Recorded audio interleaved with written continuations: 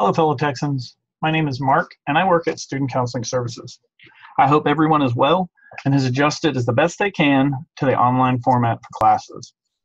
I wanted to take a few minutes today and talk about time management and how important it is, especially for those struggling with classes online and those preparing to take classes in the summer. So, what is time management and why is it important?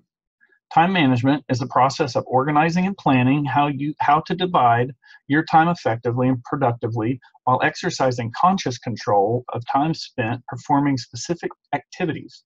Managing one's time can be challenging when there is less structure, such as when taking online classes.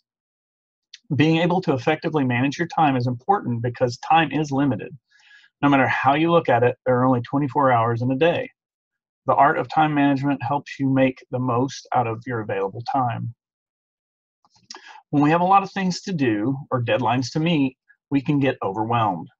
Planning out tasks of your day can help reduce the stress by giving you a clear roadmap of how to meet your important obligations and deadlines. Also, when you learn to take control of your time, you improve your ability to focus. And with the increased focus comes enhanced efficiency because you don't lose momentum when working on your allotted tasks you will be able to accomplish more with less effort. Effective time management is the effective use of your time that allows you to plan your days in such a way that you finish your work with less effort and make the most of the limited time you've got. To be effective at time management, you must know your deadlines, plan ahead, have a strategy, keep it manageable, and schedule breaks two time management techniques that I would like to share with you are time budgets and to-do lists. You may have never heard of a time budget before, but you're probably saying to yourself, well, I know uh, what a to-do list is. The question is, do you know how to maximize its, its, its effectiveness? First, let's talk about a time budget.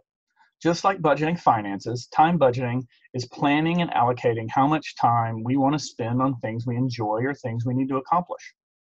First, you need to find a method or system that works for you. This could be old fashioned pen and paper or even an app. There are several out there. Remember, there are only 168 hours in a week. Ideally, you would spend a week logging the time spent during what you normally do. This is called time audit. When budgeting your time, you need to think about fixed versus discretionary time.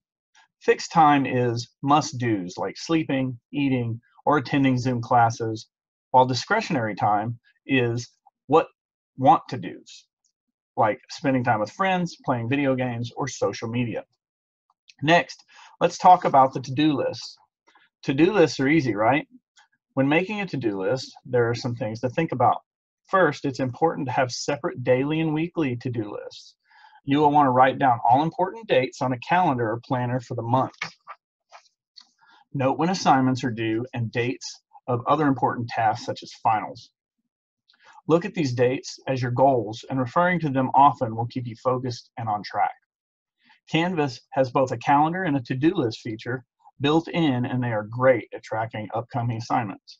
All assignments for each class can be seen in one central location. The to-do list feature can be seen on the dashboard tab or within each individual course tab. It's important to remember the to-do list located on the dashboard will include all tasks due, while the to-do list in the course tab are course-specific tasks. Now that you have an overall picture of what needs to be accomplished, you can focus on what needs to be done week by week and day to day. Before any given week, you should prepare a list of things that need to be done. This will help inform your daily to-do list. When creating a daily to-do list, prioritize and keep it manageable. Don't try to do too much at once. It can get overwhelming. Ideally, you should try to put five to 10 tasks on your daily list to do while also incorporating break times. Breaks should be scheduled at least every 90 minutes to help you avoid burnout and maintain a high level of productivity.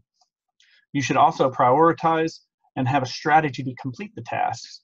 Should you start with a task that's quick and easy, or should you tackle the most time consuming task first? Ultimately, it is going to be up to you. But when motivation is low, accomplishing even a small task may provide the momentum needed to keep working. Once you've completed a task on your to-do list, it's important to mark it off the list. This can have positive effects on boosting your self-esteem by giving you a feeling of accomplishment. Two ways in which we can think about prioritizing our activities are urgency versus importance model and the ABC model. The urgency versus importance model is highlighted to the right of this slide.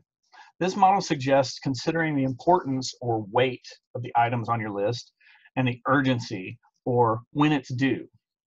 Quadrant run, one here in the top left is the urgent important activities.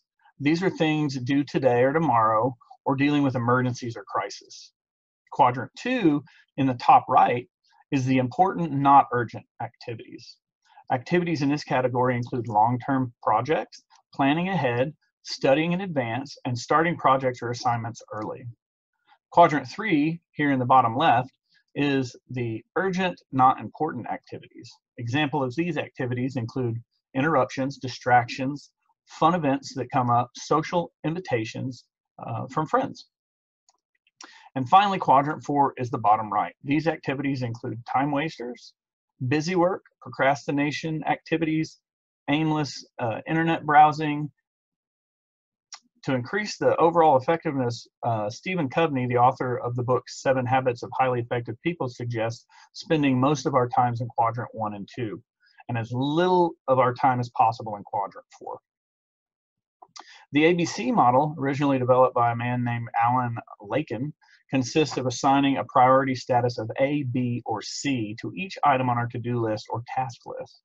A status items, must do or high priority, very important, critical items with close deadlines or a high level of importance to them. B status items are should do, medium priority items, including things that are considered quite important over time and not as critical as A status items. But still important to spending time doing, nonetheless. And finally, C items, C status items. These items are considered nice to do's, but are low priority at the time and low consequences if left undone at the moment. I hope you found this presentation helpful. Um, I wish all of you the best as we wrap up the spring semester. So focus, Finish strong and remember, you've got this. As a reminder, Student Counseling Services is open and we are here for you. If you are feeling overwhelmed or struggling, please don't hesitate to reach out and contact us. We are located in the Wellness Center on the first floor of Traditions North. Our number, which is answered 24 hours a day, is 254 968 9044. Thanks again for listening, and I hope you have a great and relaxing weekend.